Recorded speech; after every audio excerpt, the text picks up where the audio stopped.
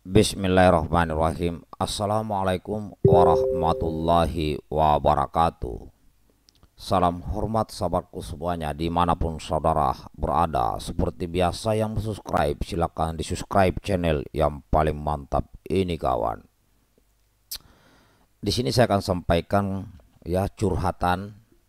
Ini ada curhatan Pak Napoleon ya kepada Pak uh, Sah Deganda Nenggolan ya Nah ini ada beritanya kawan saya sampaikan dulu ya biar kita bahaslah.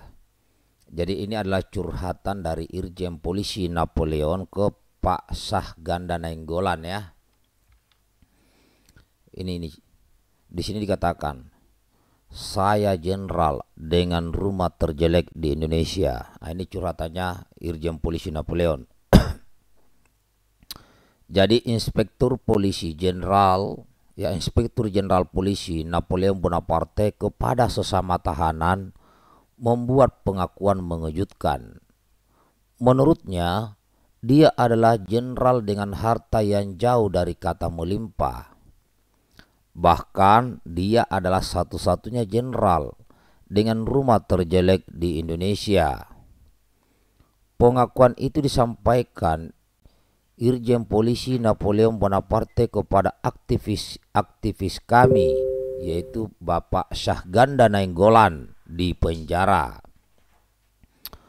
Belakangan Syahganda sudah bebas Agustus 2021 lalu dari jeratan hukum yang menimpanya.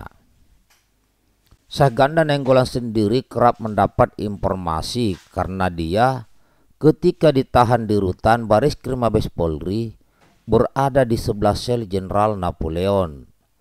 Seperti apa Jenderal Bintang 2 itu di mata sah ganda? Sering curhat ke sah ganda. Dalam sebuah diskusi bahkan Irjen Polisi Napoleon Bonaparte pernah menyatakan pada sah ganda kalau dirinya bukanlah orang kaya. Boleh dibilang dari sekian banyak jenderal, hanya dialah satu-satunya jenderal yang punya rumah buruk.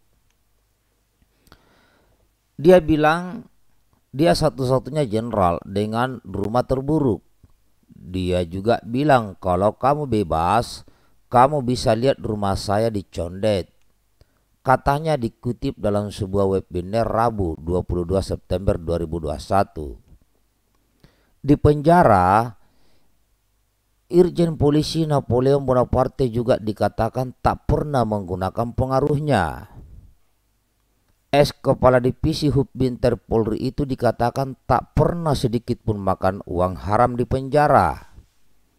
Padahal perputaran uang haram di penjara bisa 500 juta rupiah hingga 1 miliar rupiah per bulan dari kontribusi orang yang baru masuk banyak minta bantuan 86 ke Jenderal Napoleon. Ya. Sebenarnya Jenderal Napoleon bisa menjadi Markus yang bisa menjadi penjembatan banyak tahanan di penjara. Apalagi banyak kawan dia yang memiliki pengaruh besar di negeri ini.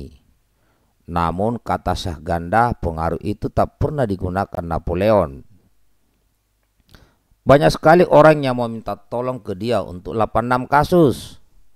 Seperti Bupati Nganjuk waktu pertama kali ditahan. Tapi dia nggak mau. Banyak juga orang-orang kaya yang sampai colek saya untuk minta dihubungkan dengan Napoleon. Tapi dia nggak mau. Dia betul-betul bersih, saya kagum. Katanya, Kata Saganda, di matanya Napoleon adalah orang yang luar biasa cerdas. Saking cerdasnya, semua isu dia kuasai. Dia bahkan sangat nyaman jika harus terlibat perdebatan dengan Napoleon. Kalau saya berkuasa, saya pasti jadikan dia jadi Kapolri, katanya. Nah, ini kawan. Ya, ini hasil curhatannya Pak Napoleon ya. Miris juga kalau Pak Irjen polisi Napoleon Bonaparte rumahnya paling buruk. Bah. Ya bisa dikategorikan berarti orang jujur lah. Biasanya orang jujur itu tapi enggak juga. Banyak juga orang jujur yang yang sukses di bidang ekonomi. Banyak ya. Dan bukan dari tempat korupsi bukan. Dan bukan dari tempat ngambil hak, -hak anggota. Ada juga saya lihat. Ya kan? Ya mungkin karena ada keluarganya mungkin yang rajin mencari nafkah uh, nafkah ya atau banyak kawan dan sebagainya macam-macam lah. Yang namanya rezeki dari Allah itu apa pun profesinya siapa pun dia sama ya.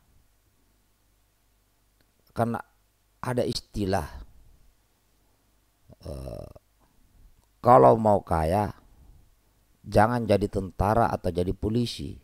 Nah kalau saya dulu di ada doktrin kalau kau mau kaya jangan jadi tentara oh itu doktrin dulu. Oh, doktrin nggak sadar itu doktrin itu. Nah lama kelamaan saya sadarnya itu setelah pangkat senior lah. Mayor lah baru saya sadar itu. Setelah mau kapten eh setelah eh, mau mayor waktu selapa saya mikir kalau mau kaya jangan jadi tentara. Saya mikir lagi bah berarti Allah ini mentakdirkan kita jadi tentara atau polisi atau PNS kalau saya itu berpikiran tentara ya, untuk tidak jadi kaya. Bah, saya sempat berpikir berarti Allah tidak adil kalau begitu.